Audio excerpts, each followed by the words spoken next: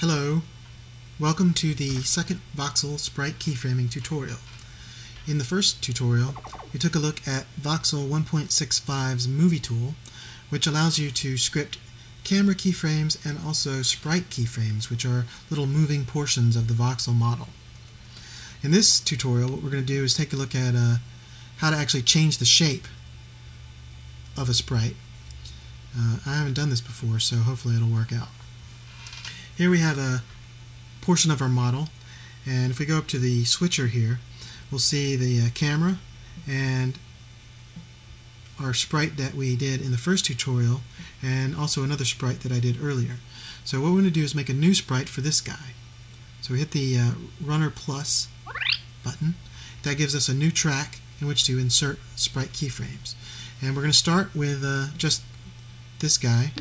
So I'm going to select him and then go over to, uh, let me make sure that the grass is not selected. Okay, yeah, it's not.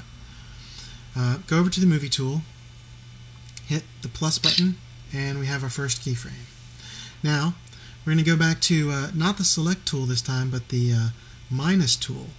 And let's uh, get rid of this guy's arm. Now there you see a ghost image. That's uh, the ghost of our keyframe that we just set showing through. But we don't need to worry about that right now. Um, go to the plus tool and what I want to do is pick up this color from this guy's arm. So uh, I'm going to hit pick selected and that picks this color. And now I'm going to make a, I'm going to move this guy's arm forward a bit. So I'm going to turn this turn the grid on and tap right there. And there we've moved his arm forward. And let's go and move his foot back. So I'm going to delete the foot and then uh, pick the color from this oops, box and go over here. Select that so that I get the grid on this same plane. And then I'm going to put his foot there. So uh, ho hopefully my arm's not blocking everything. So now we have a slight modification we've made to the model let's move uh, actually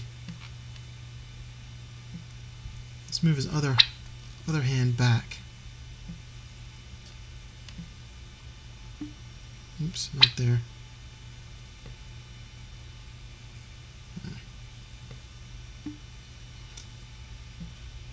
Okay, we've moved his other hand back, and let's see, we need to move this foot back. So we're going to pick the color, turn on the grid, move the foot, subtract it. So it's kind of like a, you know, clay modeling or something where you you're going to have to take away parts and add parts to the model. But that's our next frame that we want to use.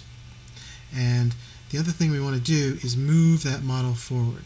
So let's select this whole mess. Here, here, select this, select out here, go down one. Okay, does that get our whole block? Looks like it. And then we're going to go to the movie tool and hit plus.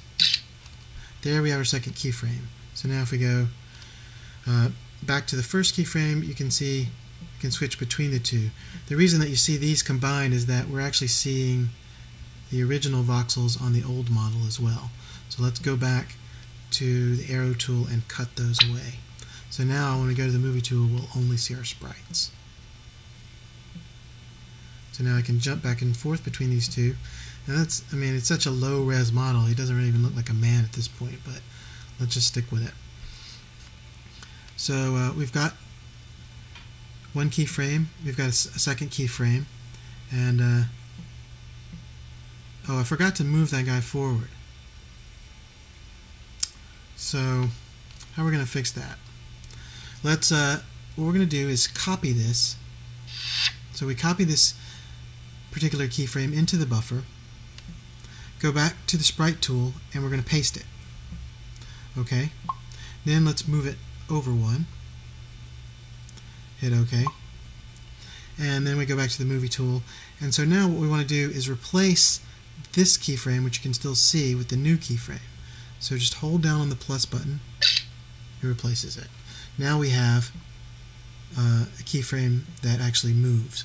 We need to go back to our model, cut the original voxels. I know that's a little confusing, but uh, until I work out a better way, that's how it's going to work, I guess.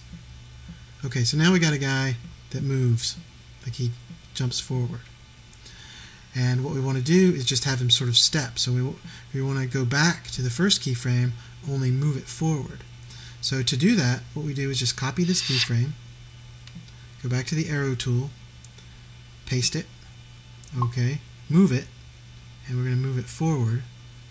And uh, let's go back to our movie tool and select this keyframe so we can see where it is. Um, and uh, let's move this guy back one. Okay, and then we go to the movie tool, add a new keyframe, go back to our arrow tool and uh, hit OK and cut those away. Now let's see what we got. We have a step. We have one step, ladies and gentlemen.